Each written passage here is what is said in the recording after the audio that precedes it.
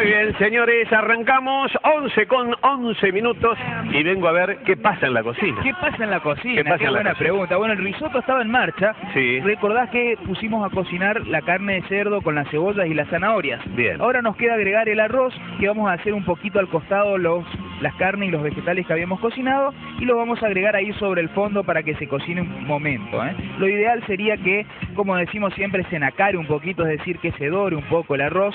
Por eso lo vamos a distribuir un poco aquí, como para que vaya tomando un poco más de textura el grano, va a tomar un poco más de sabor también. Siempre que tostemos algo, casi siempre levanta un poco el sabor, ¿eh? Entonces es fundamental que lo dejemos acá un momentito, tostándose un segundo, ¿eh?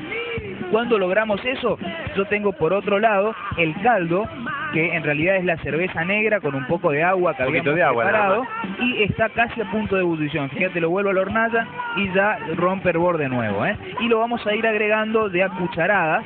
Vamos a poner primero una, unas dos o tres cucharaditas y vamos a comenzar a revolver, ¿eh? Eso tiene el risotto, que necesita un poco de atención y de cariño. Hay que estarle arriba. Hay que estarle arriba, tenemos que estar revolviéndolo, porque con este revolver lo que vamos a lograr es que el arroz vaya liberando su almidón y que de esa manera logremos un risotto cremoso y verdaderamente exquisito. Y así hay que ir agregándole de a poquito. Eso mismo, lagarto, así es. Así que yo dejo acá un momento de esto que vaya absorbiendo ese líquido y te voy contando que las almendras Sí. ya están tostadas, la tosté ligeramente en una sartén con piel, la dejamos en este caso, y lo que vamos a hacer es ir cortándola en filetes de esta manera, como para agregarla, como te contaba, a modo de queso al final de nuestro risotto, que en este caso en lugar de queso va a llevar almendras. ¿eh? Así que también logramos reducir un poquito el contenido de grasa del plato Está porque no estamos agregando quesos. ¿eh? muy bien. Así que bueno, me quedo Por eso te quedas ahí cocinando el risotto. hasta que esté listo. ¿eh? Bueno, ya vengo.